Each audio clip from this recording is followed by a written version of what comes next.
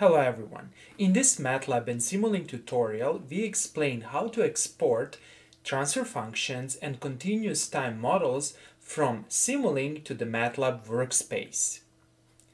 The first step is to start Simulink. We do that by typing Simulink. Then click on the blank model to create a completely empty model. As a demonstration, I will create a simple feedback control system. The first step is to define a transfer function of our plant. How do we define transfer functions in Simulink? Let me give you an example. For example, let's say that our transfer function looks like this. 1 over s squared plus 5s plus 25. To define this transfer function in Simulink, double click over here and search for transfer function. Click here, enlarge this block, double click, and over here we need to specify the coefficients in the numerator and the denominator of our transfer function. In our case, the coefficient in the numerator is simply 1. Consequently, this list over here will look like this. It will simply be 1. Then, in the denominator, we have a polynomial. Here we have 1. Consequently, we need to define a list having these entries. 1 corresponding to this coefficient, then 5 corresponding to the second coefficient, then 25 corresponding to the third coefficient. So let's do it over here. We have 1, then we have 1, 5, and we have 25. Okay. Now you can see over, already over here that we have properly defined our transfer function. Good. This will be our plant. Next, let's define our controller. Over here, I will define a proportional and integral controller. That is the PI controller. The transfer function of the PI controller is the output of the PI controller, that is the input to the plant that comes here, this is u, is actually proportional gain multiplying the error plus integral gain over s, where s is the complex Laplace variable, multiplying the error. To define the integral and proportional control law, we need to first of all define the constants kp and ki, and then we need to form these two terms and to add them together. So let's do that. Okay, let's see what's happening over here. First of all, we need to create the set point. Here's the set point. Search for constant, and we will define a set point as a simple constant. Let it be 1. Then we need to define the error. For that we need a summation block. Here's the summation block. Connect the set point to the one port of the summation block. Over here double click on the summation block and change the sign over here to minus. Then connect the output of the plant to this minus sign over here and now we have a feedback. The output of this block is actually the error. Again, let's write the transfer function of our PI controller. The transfer function is u is actually kp multiplying error plus ki over s multiplying error. Okay, let's create the proportional term. To do that, we need first of all the gain. Here's the gain. And that's it. This is the error. Connect this part. Double click on the proportional gain and let's select, for example, the proportional gain to be equal to 2. Click OK. Now we need this integral term. To create the integral term, first of all we need an integrator. Double click here and search for an integrator. Here it is. Okay. Then we need a gain.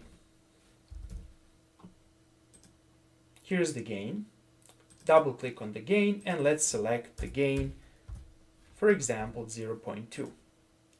Connect this part and we need to add these two terms. That is, we need to add this line and this line. For that purpose, double click over here and you can either use sum or add. Let's use add. Here it is. Connect this part and connect this part. Good. The output of this add block is actually u. So connect u to the input of our plant. And that's it. Okay, let's verify that this is correct. This is the output. This is the set point. This is the error. Error multiplying the proportional gain gives this term. Then error multiplying this 1 over s multiplying again gives an integral term and we add them together. And finally, let's define the scope over here. Connect the scope to the output of the system and let's run the simulation. Double click on scope and here it is. Okay. From this graph, we can see that the control algorithm is not properly designed. Although this is not the main purpose of this video, let's try to improve this response. Okay, obviously we need to make this response to be faster. We can improve the speed of the response by increasing the proportional gain, for example, to 10, and we can also increase the integral gain, for example, to 2. Here we might have to be careful when increasing these terms since we might end up with unstable system. Let's increase the simulation time to 30 and let's run the simulation. Okay, double click here and let's see. Hmm, looks better, not bad. However, this can still be improved. However, we are not going to improve this response in this video tutorial. Let's continue.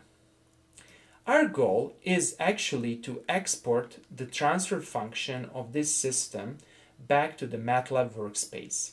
However, some of you might ask me the following question. Why do we need to export a model from Simulink to MATLAB? Well, if you want to design an advanced model-based control algorithm, you will most likely need an analytical form of a transfer function. Consequently, it's a good idea to learn how to export the model from Simulink to the MATLAB workspace. The idea for exporting the model is actually to use a model linearizer. Namely, the MATLAB can internally linearize this model and can export the linearized model back to the workspace. Now, since this model is linear, linearization will not change anything about the model and we will actually be able to export the exact transfer function. Again, since we are linearizing a linear model, we are not changing anything and we can follow this path to extract the model. To extract the model, we first need to define the inputs and outputs. The inputs, actually only one signal will be here and the output will be actually here. Let me use better like this. So this will be the input, u, and this will be the output, y. And this is our transfer function over here. Let's learn how to export this transfer function. The first step is actually to click over here, then do the right click, then click on linear analysis point and find input perturbation. That is, we specify that the input is here and do the same thing over here, do the right click, then linear analysis points and search for output measurements. Okay, now we have basically output over here and we have the input over here. Next, we need to export the transfer function. To do that, click on Apps, expand this block, and search for Model Linearizer. Start the Model Linearizer. Expand. Okay, so let's see what do we have over here. We don't see anything over here. However, if you click on Bode diagram, you will be able to generate over here our model. And here is the Bode diagram of the complete transfer function from the input to the output. And you can play with this Bode diagram. You can actually investigate stability, compute the gain and phase margins, etc. However, we are not going to do that in this video tutorial. To export this model to the MATLAB workspace, simply select the model and move it over here and release the click. And you can see that now the model is in the MATLAB workspace. And that's it. Simple as that. Next, go back to the MATLAB workspace and type whos. You can see the exported model. Let's investigate this exported model. Okay, we see a bunch of numbers, letters, and some names over here. The best strategy to directly export the transfer function is actually to use the built-in MATLAB commands. Over here, we will use the transfer function function and we will specify as the input the exported model. This function will actually export the transfer function of our linear system and I will call it transfer function. Let's evaluate this and we can see it over here. So here's the transfer function from input constant to the output transfer function. That's it. Now, let's compare the step response of this exported model with the step response computed in Simulink. To do that, we will simply type step and then we will use our transfer function. Here you have to be very careful.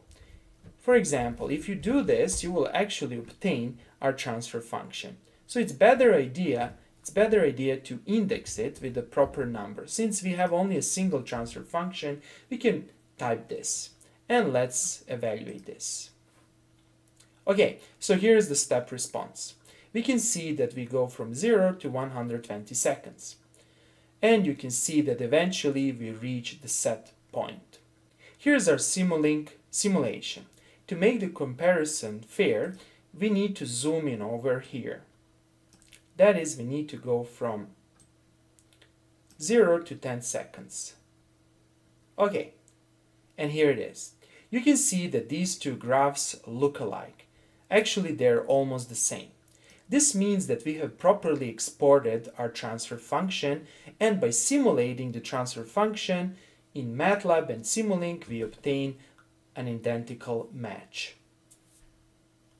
We can also analytically verify that our exported transfer function is correct. We can do that by actually directly modeling the transfer function in MATLAB. Let's do that. Let's define s to be a simply a complex variable. We usually do it like this. Next, let's define the transfer function of our proportional integral control. Kp is 10 and Ki is 2. That is the proportional gain is 10 and the integral gain is 2. These are the precise values that are in our Simulink model. Let's continue. The controller transfer function is simply kp plus ki over s. And that's it. Let's evaluate this part. And here it is. This is the transfer function of our PI controller. Next, let's model our plant. From the Simulink model, it follows that the plant is 1 over s squared plus 5 multiplying s plus 25. And this is our plant model. Okay, now our closed loop transfer function is now c multiplying w plant over 1 plus c multiplying w plant. This is the standard formula for, for the closed loop transfer function. Here it is. Okay, now there is an issue over here. We can see that some of these terms can be cancelled. To simplify this expression, we will use the function called minreal. And we specify the input WCL and we assign the output to the WCL. Okay, let's see the output. Here it is. It's much simpler. Now let's compare this transfer function with the transfer function exported from the Simulink model. To do that, we will simply type transfer function 1 and here it is. Let's do the comparison. We can see 10s plus 2, 10s plus 2, and in the denominator we can see s to the power 3, 5s squared plus 35s plus 2, and that's identical to the denominator of the transfer function exported from the Simulink model. Okay, that's all for today. I hope that you like this video. If you like the videos I'm creating, please press the like and subscribe buttons. Thanks a lot and have a nice day.